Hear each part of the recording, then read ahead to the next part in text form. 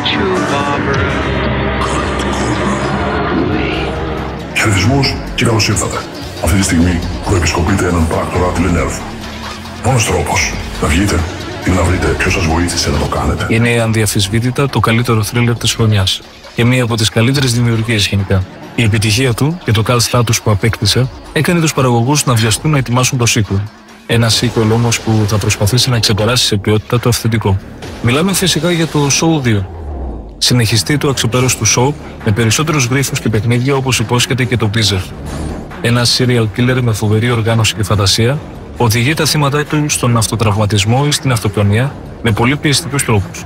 Οι σκηνές του πρώτου έργου ήταν αρκετά εθνικέ, μιας και δεν φοβάται σαν έργο να θεωρηθεί ακατάλληλο για ανήλικου.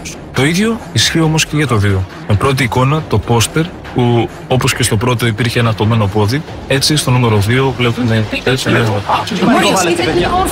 Είμαστε μαζί φίλοι.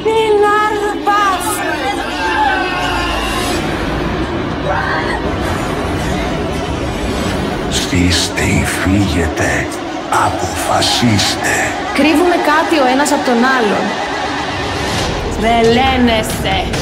Ε, ναι, που με τρελαίνεσαι. Ω ναι, φαρδερή πολύ αίμα.